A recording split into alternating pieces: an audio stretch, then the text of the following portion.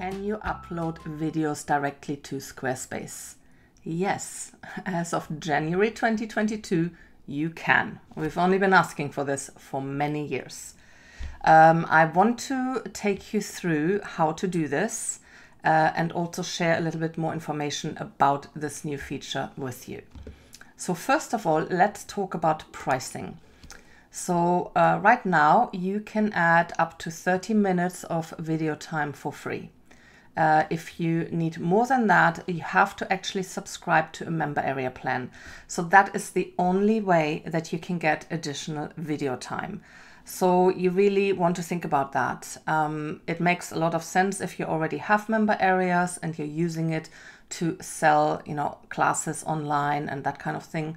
Um, then you will already have the additional storage with that um, if you don't have member areas and you think, oh, I don't really need it, well, then just have a look at what else you're doing right now. You know, are you just using YouTube, which of course, you know, is free, or are you on a Vimeo plan? Then I would say do some of your math and how, how important is it to you to upload videos directly to Squarespace?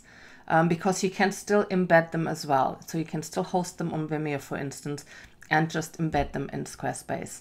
Um, so definitely do some of your math. If you look at member area pricing, um, you get you know up to five hours additionally uh, on the starter plan and on the pro plan you get up to 50 hours and i would definitely consider the core or the pro plan because the starter plan um, unless you're not charging anything then then it doesn't matter you know if you're not using member areas to uh, to sell anything then and the five hours is enough then you can just start with that, you know, because you will then not have to pay this horrendous transaction fee of 7%. Those 7% add up quickly. And of course, you know, they did that because they want you to go on a higher plan. Um, and uh, so, you know, again, do your math. Uh, and also, you can only have uh, one member area on the starter plan and then a maximum of 10 on the pro plan. Um, but yeah, so that is how you get additional uh, video storage in Squarespace if you need more than 30 minutes. The other thing that's really important to note is that um, you cannot actually, at the moment, upload a video to a video block. So if you have your video block here, you still have to actually embed the video. We cannot upload to this. So that is another important uh, distinction. Um, we might be able to do that eventually, but right now it's not possible. So how does this work? Uh, so let me just find the right page here. So you just go, you know, either in a member area or, you know, anywhere you want actually, you just add a page and you will now have the option of videos here. This is great.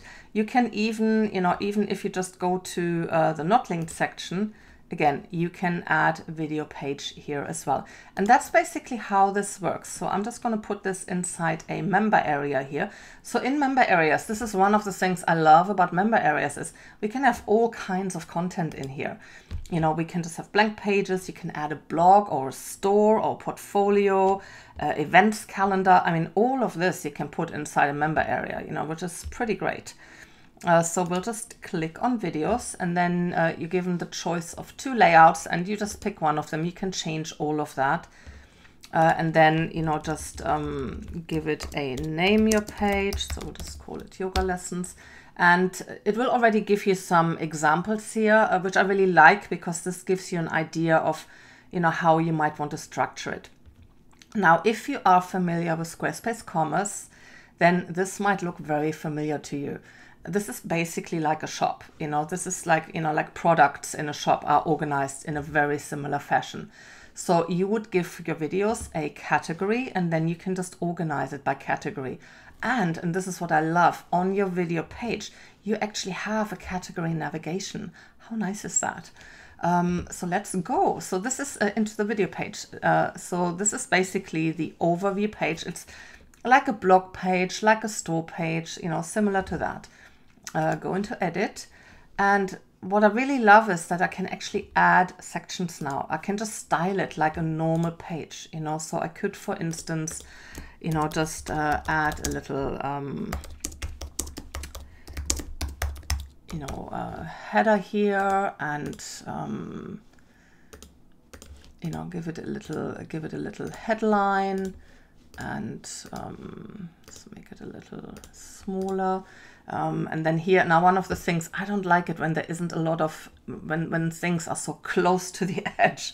We cannot actually style this uh, via the um, page um, editor.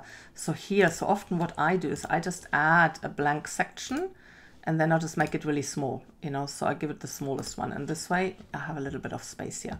So this just feels a little bit better to me.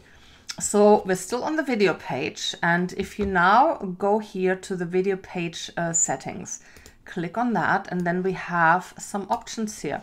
So for instance, you could have your um, image uh, placed below the title. Um, you can also, you know, update your spacing between your videos and your rows. You can have up to four columns here and um, you can also, uh, you know, center your text if you like. Uh, you have some spacing options here, which is nice. And what I really like is the categories, you know, right now is a sidebar.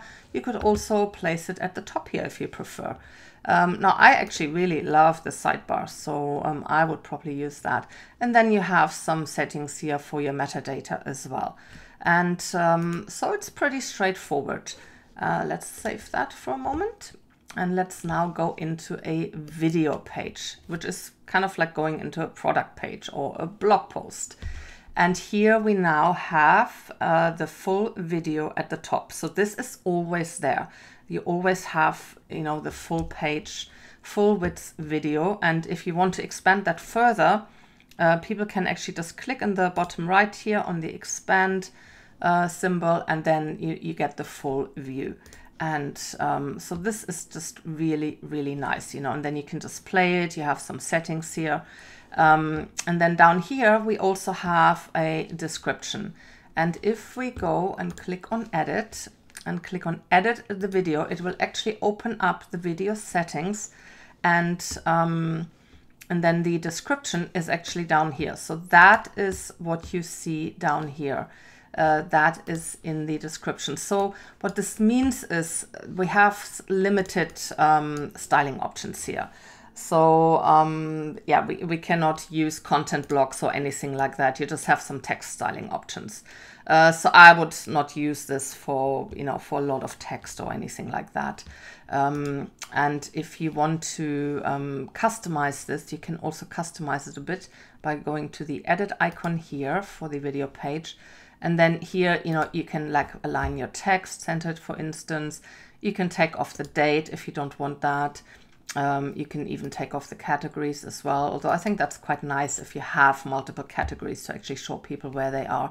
One thing we can't unfortunately do is we cannot change the widths. And if you know me, you know that I'm quite allergic where pages just have these long, wide um, paragraphs. Like on a, it doesn't matter so much if you have a smaller screen. And I, I think a lot of people design on smaller screens, so they, they don't know that. But if you have a larger screen, like I have a 21 inch, then you have this text that just goes from left to right and it's really you lose people you know i mean so this is why i would never use this for like like really um, long text you know uh, I, I would put that somewhere else if if there was a lot i wanted to say in writing um, but you know, it's a video page. So at the end of the day, that is its main purpose. So maybe this doesn't have to be, you know, great, but I still wish we could, we could uh, format the width a little bit better, but you know, that's okay. So if we go back to edit video, I just wanted to show you something here. So to you can either just replace it or you can, you know, trash it and then add a video here. And then here you are given these options. So you can still add a video from uh, Vimeo or YouTube. Uh, you can upload a, uh, a, file from your computer and you can even um, upload it from a library. So you actually get a video library, which is great. Now, the only way to get to this library right now is you have to actually go into a video into the settings for the video and do what we just did to be able to see the video library. and then you can just add the description as we uh, saw before and you have some styling options here as well for the text. And then on the left here, uh, we can go into categories. I really like how categories work now in Squarespace. We actually get a list and you can um, either you know edit or delete them here. You just uh, check them if you want to apply them and you can even you know move them around as well. So that is really nice. Uh, and just like with blog posts and with uh, products, we have a status for the video. So you can actually create a draft for it.